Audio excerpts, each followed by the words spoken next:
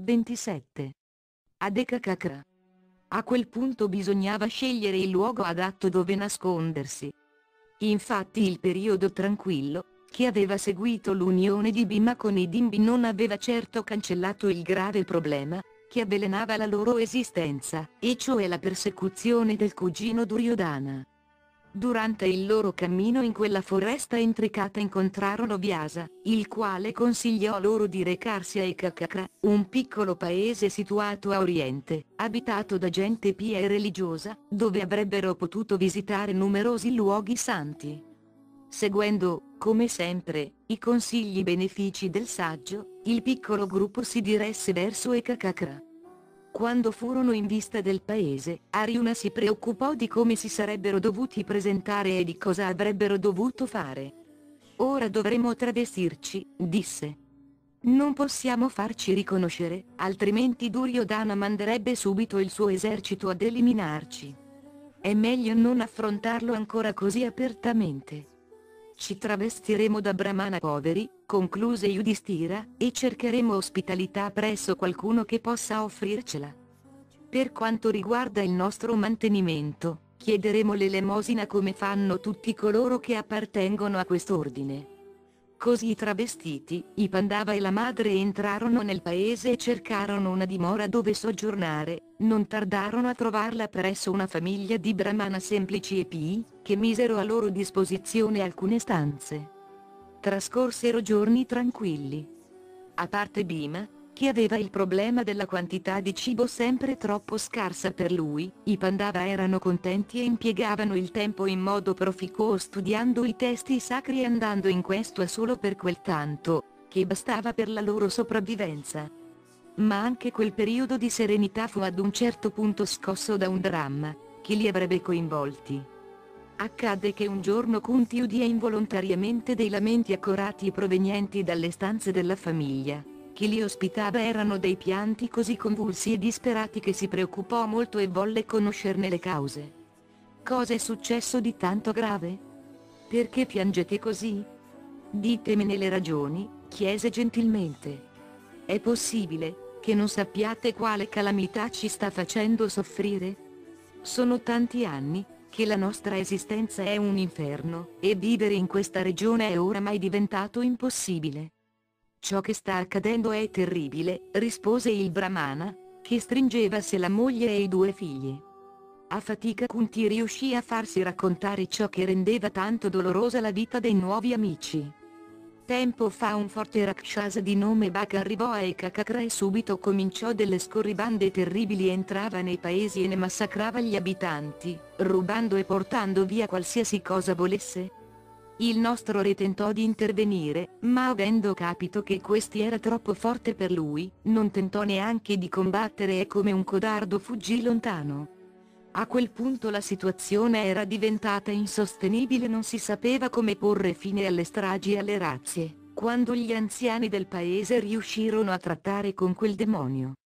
Alla fine costui ha accettato di cessare le sue azioni nefande, a patto, però che ogni settimana una famiglia gli mandi alla caverna in cui vive uno di loro alla guida di un carro colmo di cibo, trainato da otto muli.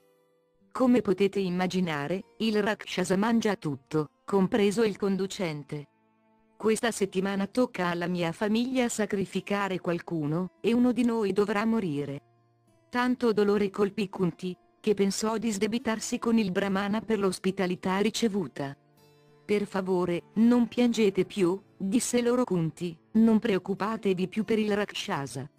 Io risolverò il problema, che assilla il vostro paese. Mio figlio andrà al vostro posto, e condurrà il carro fino alla caverna di Baka, poi porrà fine a quell'esistenza malvagia. Il brahmana era esterrefatto, da una parte avrebbe voluto aggrapparsi a quello che sembrava uno spiraglio di salvezza per sé e per la sua famiglia, ma dall'altra non intendeva mettere a repentaglio la vita del giovane, che pensava fosse un ragazzo comune. Così disse. È un suicidio, non posso accettare la tua proposta. Mio figlio non corre alcun pericolo, rispose Kunti.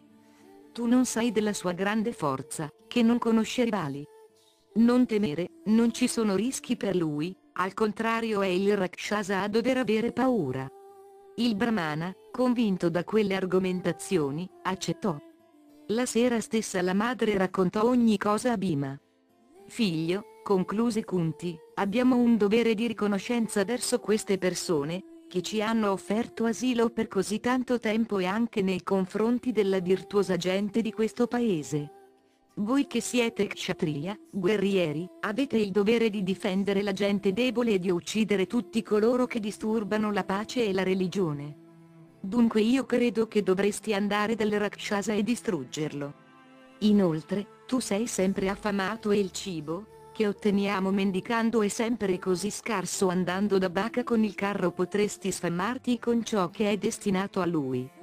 Bima non si tirò indietro, anzi accettò quel compito con esultanza, era felice di avere in tal modo l'opportunità di fare qualcosa per quella famiglia, che era sempre stata tanto gentile con loro, e allo stesso tempo si sentiva anche risollevato alla prospettiva di potersi finalmente sfamare in modo soddisfacente.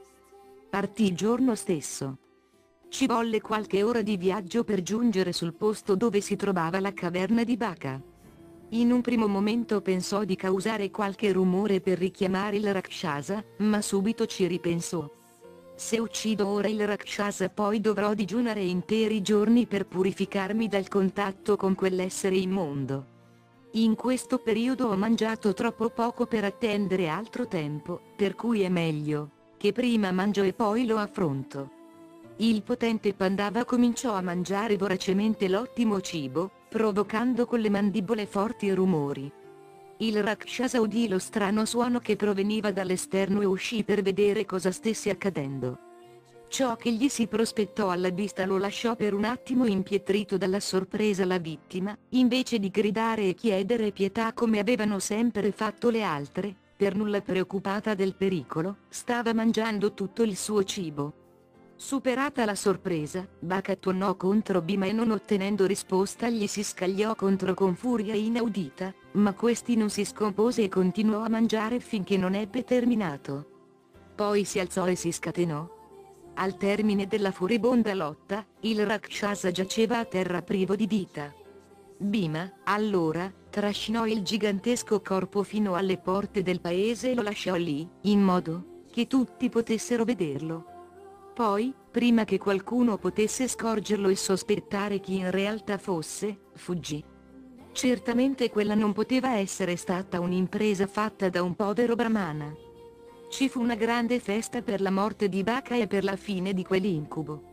Grazie a Bhima, ora si poteva vivere serenamente.